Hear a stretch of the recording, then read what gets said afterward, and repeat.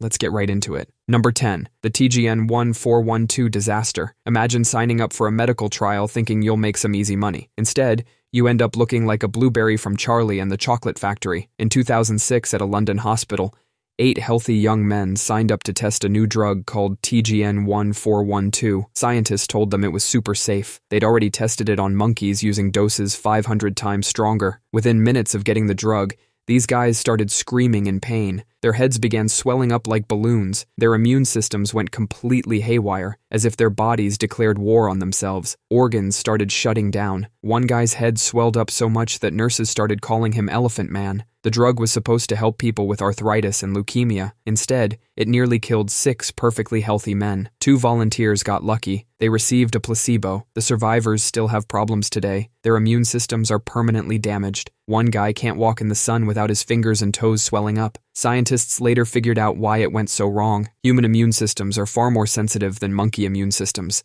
The dose that was safe for monkeys was like a nuclear bomb for humans. This disaster changed how drug testing works forever. Now they start with incredibly tiny doses and test one person at a time instead of all at once. Number 9. The blood swapping experiment. Imagine being able to reverse aging just by sharing blood with someone younger. In 2005, scientists decided to try exactly that with mice. They took an old mouse and a young mouse and did something called parabiosis. They literally sewed them together, connecting their blood vessels so they'd share the same blood supply. After a few weeks, the old mouse started acting young again. Its muscles got stronger, its brain worked better, and its organs started repairing themselves. It was like the old mouse had found the fountain of youth, but the young mouse got the short end of the stick. It started aging rapidly, its muscles getting weaker. The young mouse was an unwilling sacrifice for the old one's youth. Scientists were excited about the potential for aging research, but they were also freaked out by the ethical implications. Imagine rich people trying to harvest young people's blood. It sounds like the plot of a dystopian movie. Some companies even tried to commercialize this, charging thousands for young blood transfusions. The FDA had to step in and stop them from creating a real life vampire economy. Number 8. The Cat Telephone. Back in 1929, two Princeton scientists wanted to know how our brains process sound. Their solution was straight out of a horror movie. They decided to turn a living cat into a telephone receiver. They took a sedated cat, opened its skull, and connected wires directly to its auditory nerve. The other end of these wires went to an amplifier. When they spoke into the cat's ears,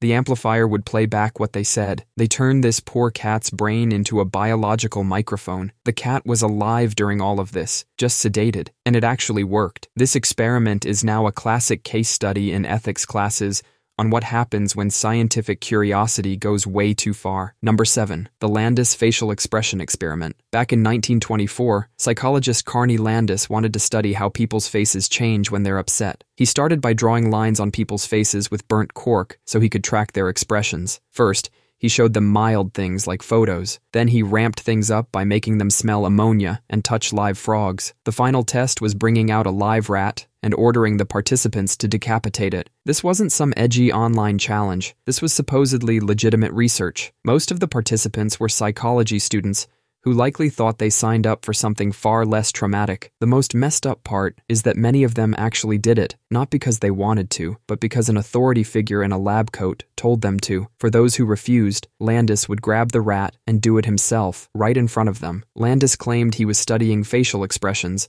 but what he actually proved was how far people will go when someone in authority tells them to do something horrible. Today, this experiment is basically the we don't talk about that of psychology. Number 6. The Little Albert Experiment. Imagine you're a baby, just living your life. Then one day, scientists show up and decide to play mind games with you. That's what happened to a nine month old baby nicknamed Little Albert in 1920. First, they showed Albert a cute white rat. Just like any normal baby, he loved it. He wanted to pet it and play with it. But then, every time they showed Albert the rat, they'd make a horrifying loud noise right behind his head by smashing a hammer against a steel bar. They kept doing this over and over. Eventually, poor little Albert started freaking out every time he even saw the rat. The fear generalized. The kid became terrified of anything white and fluffy. A Santa Claus mask became terrifying. A fur coat became nightmare fuel. The scientists conditioned a deep seated fear into a child, but they never undid what they did to him. They just left him traumatized and called it a day. It's like installing a virus in someone's brain and then throwing away the antivirus software. The worst part is we don't know what happened to little Albert. He just disappeared into history, probably spending the rest of his life avoiding pet stores and cotton balls.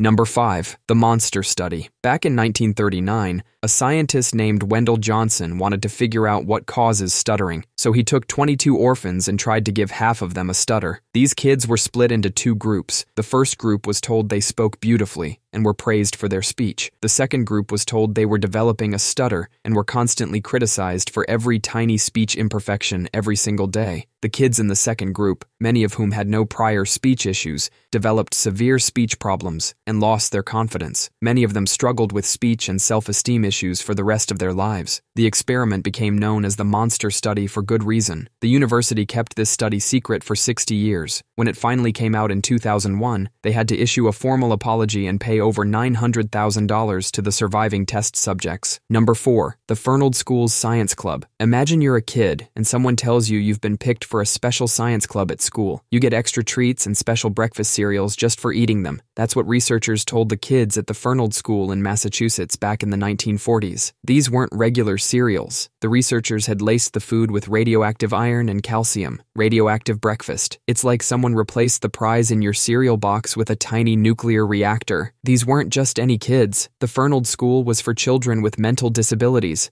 The scientists specifically chose them because they thought nobody would ask too many questions.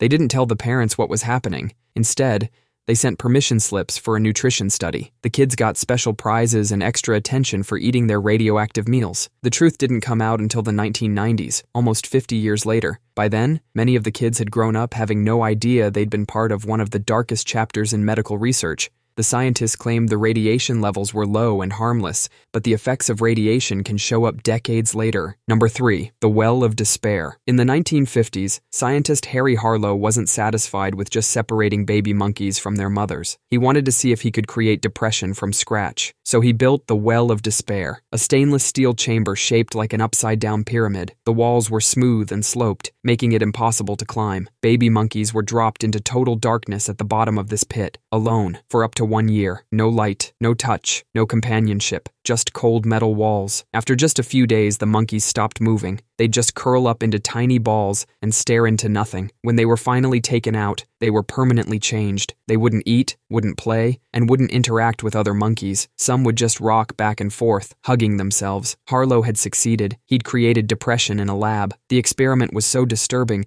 that even Harlow's own research assistant quit, saying, I cannot see any justification for this kind of research.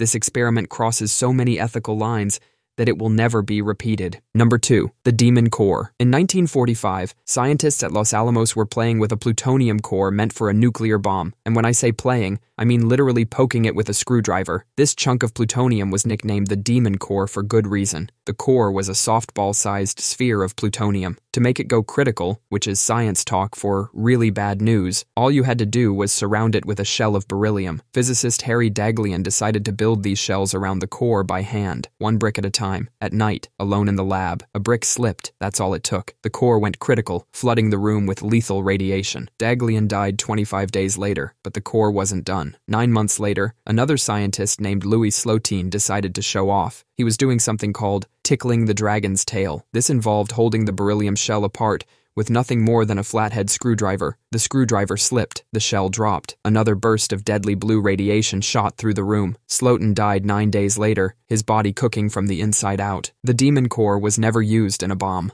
Number 1. The Two Headed Dog Experiment. Back in the 1950s, Soviet scientist Vladimir Demikhov decided to play Dr. Frankenstein. He took a puppy's head and front legs and surgically attached them to the neck of a fully grown German shepherd. This isn't an urban legend. There's actual footage. The bigger dog's heart and lungs kept both heads alive. Both heads could move independently, see? And even drink milk at the same time. The small head would even lick milk off the nose of the bigger head. They were fully conscious and aware. The smaller head would even try to nip at scientists when they gave injections to the main body. Demikhov was trying to figure out organ transplants. His work, as gruesome as it was, accidentally helped pave the way for modern heart transplants. But the dogs didn't live long. Most survived only a few days, with the longest making it to just 29 days. Demikhov created about 20 of these two dogs. Even during the height of the Cold War, when everything was fair game, other scientists refused to repeat this experiment. Modern scientists have the tools to do this far better today, but absolutely nobody wants to. That's all for today. I'll be making similar videos in the future. Subscribe to see them.